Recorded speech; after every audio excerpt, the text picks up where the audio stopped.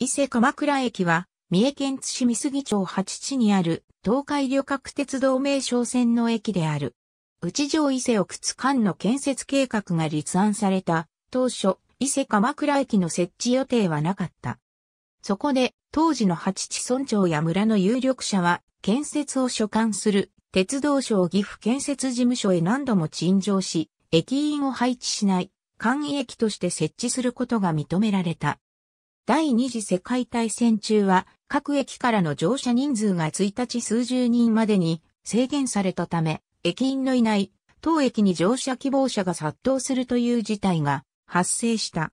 戦後、駅舎を建設し寄付すれば、駅員を配置することを認める決定がなされたため、八地村は1947年6月に駅舎建設を開始、同年8月6日に鉄道省へ引き渡した。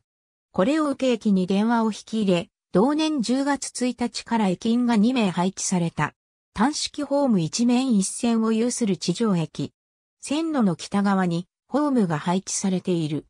松坂駅管理の無人駅であり、ホームに待合所があるだけである。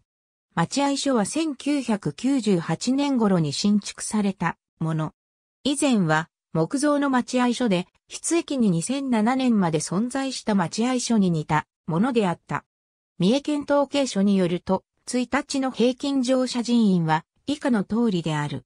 なお、2009年度から2015年度は、2009年10月から2016年3月まで行われていたバス代行輸送分を含んでいる。この辺りの山々には、三杉地区名産の三杉杉が一面生えている。当駅の主な利用者が住む集落は徒歩10分ほど伊勢八地駅寄りに離れている。